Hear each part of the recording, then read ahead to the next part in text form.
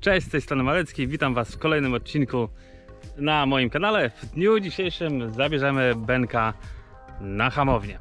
Z Benkiem jestem już no, 4 miesiące, polubiliśmy się trochę. Przejechane na liczniku jest no niecałe tam 6000 km. Jest już po drugiej wymianie oleju. E, zalany olej, no Motul 300V Competition, lepkość zalecana przez producenta. E, totalnie seryjne, nic nie było zmieniane. Jedziemy sprawdzić wyniki. Moc, jaką podaje producent katalogowo, do mocy, która ma się rzeczywiście na kołach, jak wiecie, zapewne ma mało wspólnego. E, Z tego co pamiętam, Benek tam ma chyba 46 czy 48 koni na papierze na silniku. No na kole będzie mniej jakieś 20-25%, czyli oscyluje, że będzie no jakieś 36-38 koni. Zobaczymy jak wyjdzie już za chwilę. E, jedziemy do e, Echilczuka, do dystrybutora Harley Davidsona no, w okolicach Warszawy, zaraz zobaczycie.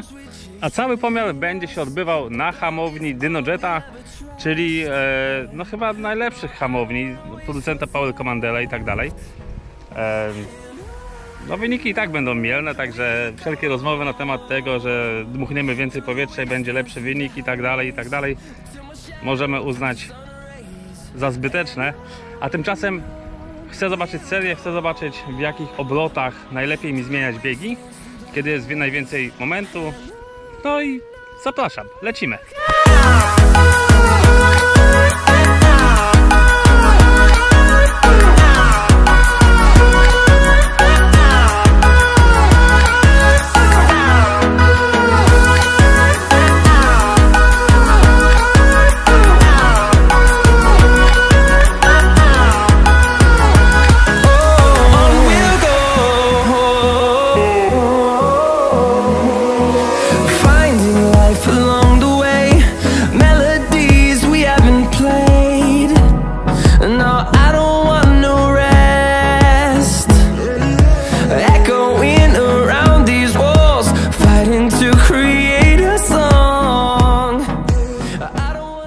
Jesteśmy pod firmą Echilczuk i Syn, dystrybutora marki Harley Davidson, Davidson, Davidson, Davidson, nie wiem, poprawcie mnie. A tymczasem taki chińsko-włoski Benek wśród tak doborowego, tu- w tak doborowym towarzystwie. Albo inaczej, tak doborowy Benek przy byle jakim Harley'u.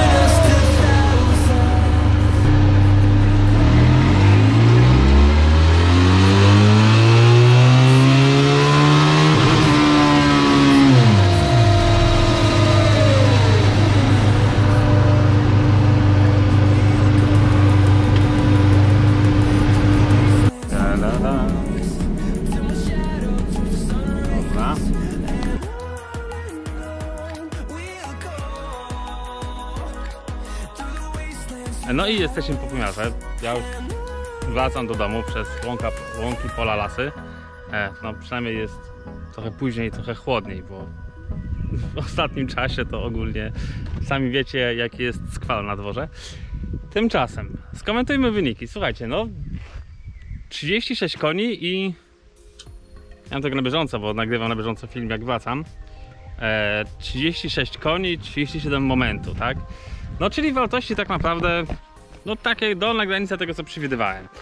E, o ile przebieg koni mechanicznych, no fajnie, widzimy ten zakres użyteczności tam między tymi siedmioma, faktycznie do odcięcia, ten e, zakres użytecznych obrotów, no tyle tak naprawdę przebieg momentu obrotowego, czyli przyspieszenia zdecydowanie rozczaruje, rozczarowuje. Naprawdę nie spodziewałem się, że ten moment obrotowy e, będzie przebiegał tak słabo, tak? Także teraz trzeba podjąć decyzję, czy się bawimy serię, to ogólnie mi wystarcza, tak? Jest przejechane 6000 km. Eee, Litwa, Łotwa, Estonia, e, teraz Szwecja za dwa tygodnie. E, mi wystarcza. Więc pytanie teraz, czy bawimy się w, w serię, czy to może coś pogrzebiemy. Widziałem, są wydechy Dominatora, tak? Ogólnie kiedyś Dominator miał taką opinię na rynku, że te wydechy były spoko, ale szybko się przepalały. Ciekaw jestem, może zmienili technologię wykonania, nie wiem. Wiem, że w ofercie do BNK jest już e, kolektor wydechowy i seryjny i ten i końcowy wydech. Także zastanawiam się, czy sobie w to nie zainwestować. Tam pieniądze nie są duże. E, no i zrobić kolejnego pomiaru, tak, po samym wymianie wydechu, no razem z kolektorem i tak dalej. No i czy nie zainstalować Power Commandera, nie zrobić mapy paliwowej i e, bo to na pewno dużo by dało, tak? W porównaniu z mam porównanie po innych motocyklach, po innych sprzętach, którymi trochę się bawiłem. E, że no, dopiero po strojeniu tak naprawdę wyciągamy tą moc, kiedy zmienimy gratę na aftermarketowe. Jest to chyba pierwszy benek, który był mierzony na hamowni w Polsce, przynajmniej ja nie słyszałem o żadnym innym. Nie widziałem żadnych innych wykresów e, z hamowni. E, rocznik 2021, kupiony w marcu. Ja ogólnie jestem zadowolony, bo jeździ, przyspiesza e, i co najważniejsze, nie wibruje. To jest ważne. Odkręcałem bak, nawet sprawdzałem tą podkładkę e, nad cewkami. Tam się wszystko trzyma, jest wszystko ok. Także ten egzemplarz nie wibruje, jest zajebiście. Eee, może dlatego tak słabe wyniki. Eee, słuchajcie, no zobaczymy, tak? Zobaczymy jak sytuacja będzie się rozwijać w kolejnych odcinkach. Jak widzicie z zewnątrz ten benek, no troszeczkę jest trochę tam modyfikacji. Tutaj właśnie halogeny podłączam, jest handbolt riser, jest mocowanie na telefon, są e, grzane manetki, e, jest kufel Givi z mocowaniem, e, jest e, trochę głupiego szpaju na z AliExpressu, czyli ten osłonka filtra, a no i są tablice rejestracyjne. No, także e, jakby ktoś się pytał, tak to wygląda i co? I może w kolejnym odcinku opiszę Wam co, jak, ile i dlaczego. Z tymi wszystkimi zmianami, kuflami, pierdołami i tak dalej, i tak dalej. Także zostawcie komentarz pod filmem, łapkę w górę, a wszystkich niezdecydowanych zapraszam do subskrypcji tego kanału. Trzymajcie się, hej!